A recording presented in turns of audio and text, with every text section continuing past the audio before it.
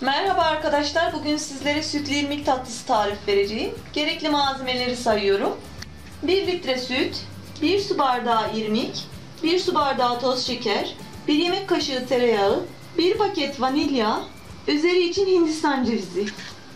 Sütü tencereye almıştım. Üzerinden şekeri ve irmiği ekliyorum. Ocağın altını orta ateşe aldım.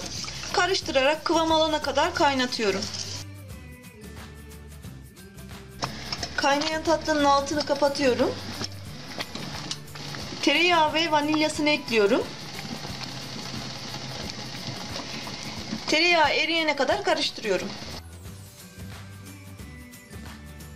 Tatlı yapışmaması için kalıbımın tabanını ıslattım. Tatlıyı sıcak bir şekilde kalıbıma döküyorum.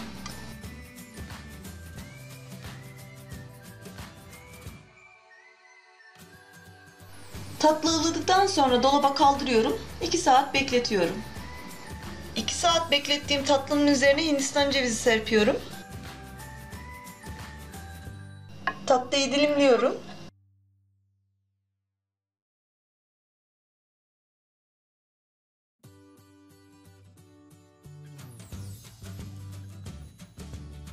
Sütlü irmik tatlısı servise hazır. Deneyeceklere şimdiden afiyet olsun. Kanalımıza abone olmayı unutmayın. Bir dahaki videoda görüşmek üzere. Hoşçakalın.